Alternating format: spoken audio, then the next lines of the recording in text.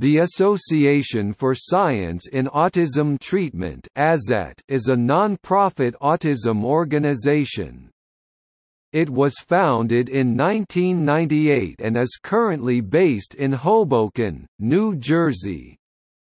Members of its advisory board include Eric Fombonne and Stephen Barrett. Tristram Smith was one of its board members before his death in August 2018.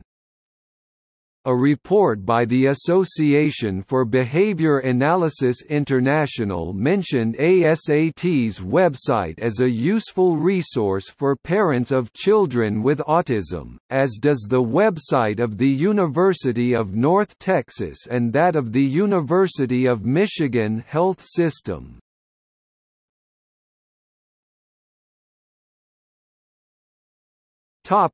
Views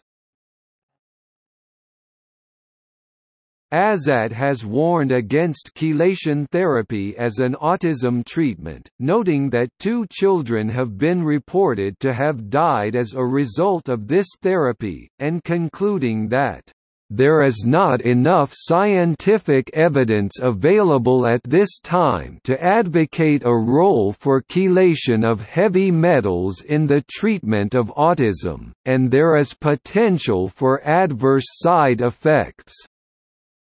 They take a similar viewpoint with regard to the use of secretin. Treatments they consider to be unproven, rather than disproven, include homeopathy and animal therapy. Published research related to the hundreds of autism treatments are provided on ASAT's website.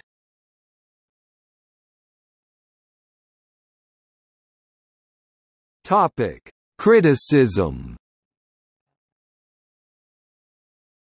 ASAT was criticized in 1999, by Bernard Rimland, who contended that applied behavior analysis is not as effective as the ASAT claims and called their position on autism treatments, "...nonsensical and counterfactual."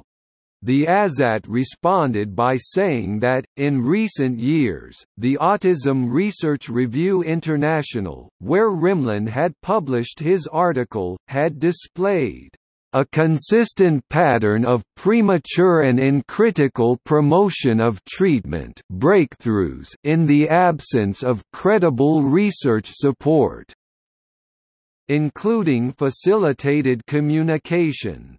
Currently, applied behavior analysis is the treatment that enjoys the most scientific support.